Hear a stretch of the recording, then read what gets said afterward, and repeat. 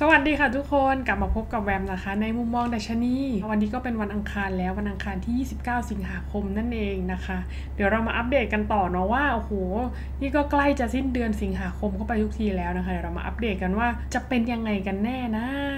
นะคะหลังจากที่เมื่อวานเนาะจริง ๆ ราคา action ตามแผนอยู่นะ แต่ว่าเขาอะไม่ยอมลงเขามีโอกาสที่จะขึ้นต่อ เออ ดูซิว่าเขาจะขึ้นจริงหรือว่าจะขึ้นเพื่อลงกันแน่นะคะเดี๋ยวเราไปดูกราฟกันเลยดีกว่าค่ะ มาแล้วนะคะอันนี้ก็อยู่ที่กราฟของตัว DE30 ก่อนเนาะอันนี้นะคะ เดี๋ยวขอพาดูแผนเมื่อวานนิดนึงนะคะ เมื่อวานนี้นี่ 15800 นะคะ action สวยมาก ๆ ทุกคน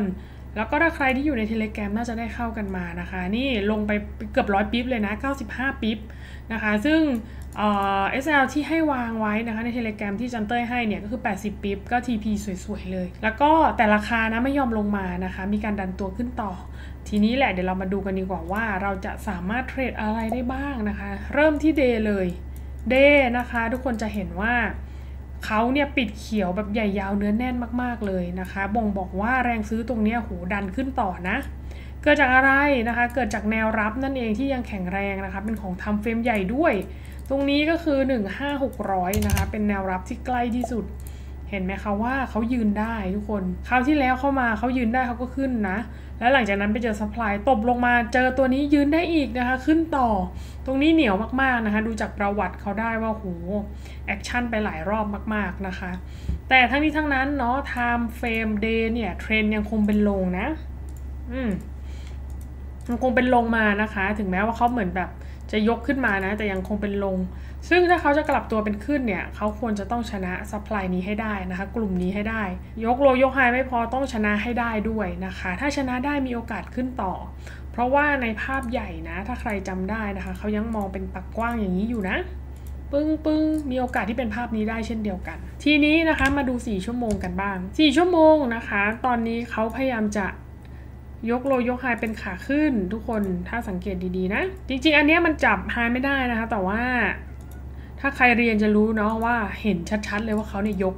พฤติกรรมเขายกขึ้นมา แล้วเขาก็ได้ทำลาย supply zone ไปแล้วด้วย มีโอกาสปรับตัวเป็นขึ้นมาก แต่ทั้งนี้ทั้งนั้น 4 ชั่วโมงก็ยังคงมี supply อยู่ เออ เป็นกลุ่มนี้เลยนะคะ จริงๆเขาติดอยู่ทั้งกลุ่มนี้เลยนะ แต่ถ้าจะตีให้แบบไม่ต้องไกลมากนะคะ ก็คือกลุ่มนี้แหละนะคะ ที่เขากำลังจะขึ้นมา test ถ้ายังผ่านตรงนี้ไปไม่ได้นะคะ ก็ยังไม่ถือว่าเขาสามารถที่จะขึ้นได้อย่างสมบูรณ์เนาะ เพราะอะไร เพราะว่า 1 Day นะคะ Day ยังคงเป็นลง ถ้าเกิดเขาขึ้นมาตรงนี้เขาก็ยังติด supply Day อยู่นั่นเองนะคะ ถ้าเขาจะปรับตัวจริง ๆ เนี่ยเขาควรจะต้องเป็นภาพนี้ทุกคนก็คือ ชนะและยืนเหนือแนวต้านเดิมนี้ให้ได้นะคะ แล้วค่อยไป test ใน supply Day อีกรอบหนึ่งเนาะแต่ถ้าขึ้นชนะ highนี้ต้านเดิมของเขาเนี่ยไม่ได้นะคะมีโอกาสมากเลยที่เขาเนี่ยอาจจะปรับตัวลงต่อ เพราะว่าถ้าเราดูดีๆเนี่ยจริง ๆ มันยังมีโซนที่รอเขาอยู่ข้างล่างนะคะของเดย์เนี่ย จริงๆ ค่อนข้างไกลเลยนี่ล่างนี้ ถ้าหลุดมาเนี่ยมีโอกาสเจอกันนี้เลย แต่ถ้าไม่หลุดนะคะถ้าเขาอยากจะไปเลยเนี่ยเขาก็ต้องชนะกลุ่มนี้ให้ได้เนาะทีนี้โซนของ 4 ชั่วโมงมีอะไรบ้างนะคะ ก็จะมีกลุ่มนี้แหละ นี่มีกลุ่มนี้แหละนะ เป็นโซนที่ทำผลงานได้นะคะเพิ่งสร้างเพิ่งเกิดขึ้นมาใหม่นั่นเองนะคะ ถ้าลงมาตรงนี้นะคะ ถ้าเราอยากจะบายจริง ๆ นะ อย่างที่บอกอยากให้ชนะไฮกลุ่มนี้ก่อน ถ้าชนะกลุ่มนี้ได้นะคะ ก็มามองพิจารณาบายกันแบบนี้ นี่อย่างเงี้ยสวย ถ้าอย่างเงี้ยสวยนะคะ แต่ถ้าไม่ได้เนี่ยมีโอกาสลงลึกนะ ลงลึกถึงไหนมีโอกาสที่จะมาใช้โซนนี้นะคะ เป็นdemand เดิมแล้วก็มี 15600 อาจจะมา test 15600 อีกรอบหนึ่ง นะคะ ซึ่งถ้าเขากลับลงมาโดยที่ยังไม่ชนะกลุ่มนี้ตรงนี้สวยกว่านะคะ เราอาจจะรอ pattern เดิมที่เราคุ้นเคยกันนะคะ ก็คือเป็นภาพนี้ นี่ถ้าอย่างเงี้ยโอเคสวยนะคะ ถ้าไม่มีตรงนี้เนี่ยอย่าพึ่งนะ เพราะว่า Day ยังลงอยู่ มีโอกาสเช่นเดียวกันนะคะ ว่าเขาอาจจะลงอีกหัวหนึ่งเพื่อขึ้นต่อก็ได้นะคะ เราจะไม่ไปแอบว่าเฮ้ยต้องขึ้นไปข้างบนแล้วแน่ ๆเลยนะคะ เราจะเทรดตามสิ่งที่เห็นนั่นเอง มาต่อกันนะคะ มีอะไรให้เราอีกไหมสี่ชั่วโมงก็คือเป็น supply นี่แหละ ดังนั้นถามว่าถ้าจะ sell ได้ไหม sell ได้นะคะ แต่ต้องมี confirm ในกลุ่มนี้นะคะ ซึ่งตรงนี้เนี่ยมีหลักร้อยอยู่ด้วย จุดนี้นะคะถ้าจะ sell นะคะแนะนำให้มีเหมือนเดิมนะคะ QM sell เพราะอะไร เพราะว่าจุดนี้นะคะราคาเนี่ยเขาถูกดันมานะจากแนวรับของ timeframe ใหญ่นั่นเองนะคะ แล้วราคาเนี่ยของ 4 ชั่วโมงก็เริ่มเปลี่ยนเทรนแล้วด้วย นะคะทำให้การ sell เนี่ยก็ยังมีความเสี่ยง ทุกคนจะเห็นว่าเขาเนี่ยวิ่งอยู่ในกรอบเห็นไหมคะดังนั้นการที่เราจะ sell เราก็ควรจะต้องมี pattern ในการ confirm หรือถ้าใครมีชุดความรู้อย่างที่บอกนะ ช่วย confirm สก a ลปิ้งหรืออะไรต่างๆเนี่ยหนึ่งห้าเก้าร้อยเนี่ยอาจจะเก็บสั้นๆ เก็บย่อ อย่างนั้นก็ได้เช่นเดียวกัน แต่ถ้าเราไม่รู้นะคะ ไม่รู้ในเรื่องของการคอนเฟิร์มเนี่ยเอาให้ชัวร์คือเรารอ action ของแท่งเทียนหรือโครงสร้างเนี่ยในการช่วย confirm อันนี้แหละจะชัวร์ที่สุด 2 ภาพนี้นะคะ ที่รอการ15900 นะ ถ้ามีภาพนี้ sell ได้ ถ้าไม่มีนะคะ อย่าพึ่งยกเว้นว่าเรามีเทคนิคอื่นๆนะ จุดถัดไปถ้าเกิดเขาชนะขึ้นไปนะคะ เขาก็จะไปเจอกับ supply ของ Day นั่นเอง กลุ่มนี้ก็จะเป็น หมื่นหกเลยนะคะ ก็มีโอกาสเช่นเดียวกัน ที่เขาเนี่ยจะขึ้นมา test หมื่นหกมีโอกาสที่จะขึ้นมาข้างบน แล้วเราก็อาจจะค่อยหาจังหวะในการ sell เพราะว่าตรงนี้เป็น supply Day เนาะ supply timeframe ใหญ่ ก็ยังมองหน้า sell ได้อยู่นะคะ อะทีนี้เมื่อกี้มาดู 1 ชั่วโมง ก็จะเห็นว่า 1 ชั่วโมงเนี่ยปรับเป็นขาขึ้นชัดเจนแล้ว แต่ตรงนี้เนาะเหมือนเดิม ถ้าเราจะ buy กันทุกคนเห็นไหมว่าตรงนี้มัน timeframe ใหญ่กว่านะคะ4ชั่วโมงเนี่ยเขา control อยู่ แต่ถ้าราคายังไปไม่ถึงนะ แล้วมีการย่อกลับลงมาก่อน จริง ๆ ตรงนี้ก็มีจุดที่น่าสนใจนะคะ ก็คือจุดที่แวมตีไว้นี่แหละ แถว 15700 นะคะถ้า เรามองใน 1 ชั่วโมงเราจะเห็นแล้วว่า 1 ชั่วโมงเนี่ยเป็นขึ้นแล้ว เราสามารถพิจารณา buy ได้เช่นเดียวกัน แต่แนะนำนะคะราคาต้องยังไม่ไปถึง supply นี้นะไม่ถึง 900 นะ ถ้าย่อมาแบบนี้ก็มีโอกาสนะคะ อาจจะมาเด้งอย่างนี้ก็ได้นะคะ เพื่อกลับขึ้นไปหาข้างบน อืมแต่ถ้าเกิดราคาไปถึง 900 แล้วเนี่ยตรงนี้ไม่เล่นนะคะ เพราะว่าเป็น supply ของ timeframe ใหญ่ แล้วตรงนี้มันกลางทาง แต่ถ้ายังขึ้นไปไม่ถึงแล้วย่อลงมาก่อนตรงนี้น่าสนใจ นะคะ ประมาณนี้นะคะทุกคนสำหรับตัว DE ว่าให้ก่อนนะคะ ก็คือมี 2 จุดที่จะรอ แล้วก็ถ้าการ sell เนี่ย ก็คือเราจะรอ pattern นี้ โอเคประมาณนี้นะคะของตัว DE ทีนี้เราไปดู US 100 กันค่ะ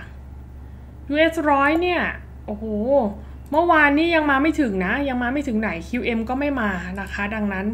ขออนุญาตเคลียร์แผนนิดนึงก่อน จริงๆ เราใช้อัปเดตจากของเดิมก็ได้นะคะ ขออนุญาตไปดูเดย์เดย์นะคะจะเห็นว่าเมื่อวานเนี่ยปิดเป็นสีเขียวเช่นเดียวกันนะคะ พยายามจะดันตัวขึ้นมา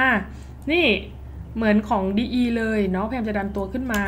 แต่ว่าอันนี้จะเห็นได้ชัดเลยนะว่าของ US 100เนี่ยถูกดันมาจาก Demand Day นะคะที่เขาเพิ่งสร้างแข็งแรงด้วยนะคะก็มีการยกมา แต่จุดที่จะตัดสินนะคะว่าเขาอาจจะขึ้นจริงแล้วหรือเปล่าก็คือตัว 15400เนี่ยแหละ ถ้าเขาขึ้นและยืนได้นะ มีโอกาสไปต่อแบบนี้เลย เพราะวีคยังขึ้นนะคะ ถึงแม้ว่า Time Frame Day เนี่ยจะยังเป็นเทรนลง นี่เป็นลงแบบนี้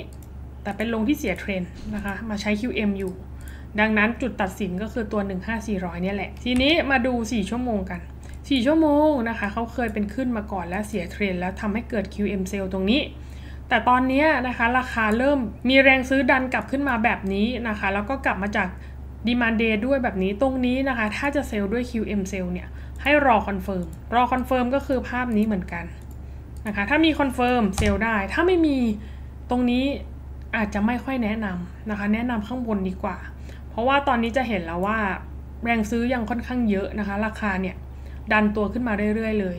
นะคะ ดังนั้นจุดรอเหมือนเหมือนเดิมนะคะสำหรับ US 100ก็คือ 2 โซนนี้ แต่โซนโซนล่างเนี่ย โซน QM เนี่ย แนะนำนะให้มี confirm นะตามนี้เลยนะคะ แต่ถ้าสำหรับข้างบนถ้าใครอยากจะเล่นเป็นสัมผัสแรกเนาะขอบอยู่ 15355 นะคะ SL เนี่ยประมาณ 70 pip หรือถ้าใครอยากจะรอ 400 ก็ได้นะคะ แต่ต้องดูอีกทีนึงนะโมเมนตัมการมา ถ้า 400 เนี่ย SL จะสั้นลงไปอีกนะคะ ก็ลองดูโซนบนเนี้ยน่าสนใจ ประมาณนี้นะคะ US 100 ไม่มีอะไรเพราะว่าน้องยังไม่ได้ไปไหนไกลนะคะ ก็คือใช้จุดเดิม วันนี้ก็ถ้าสมมุติใครนะคะ ติดตามบาร์โวอยู่แล้วเนาะก็สามารถไปอัปเดตแผนกันได้ทั้งไลฟ์ช่วงบ่าย แล้วก็สำหรับแผนของมุมมองดัชนีนะคะ เหมือนเดิมถ้าใครนะคะ มีคอมเมนต์อะไรก็สามารถพูดคุยกันมาได้เลยเนาะแล้วก็ขอบคุณทุกคนที่ติดตามในวันนี้นะคะ เดี๋ยวพรุ่งนี้เรามาติดตามกันต่อ วันนี้ขอบคุณทุกคนมาก ๆนะคะ ไปแล้ว สวัสดีค่ะ bye bye ฝากถอนเงินง่ายครับในแอปพลิเคชันเลย มีการแจ้งเตือนปฏิทินอีเวนต์ต่างๆ ที่จะเกิดขึ้นในตลาด แอปเนี่ยจะคำนวณตัว SL และ TP มาให้ผมเป็นจำนวนเงินให้ได้นะครับติดต่อ support ที่เป็นคนไทยนะคะ ได้ภายในแอปเลย ผลิตภัณฑ์ของ XTB มีให้เลือกมากกว่า 2,100 ชนิด สำหรับเต้ยที่เทรดมามากกว่า 8 ปี บอกเลยว่าต้อง XTB เท่านั้นค่ะ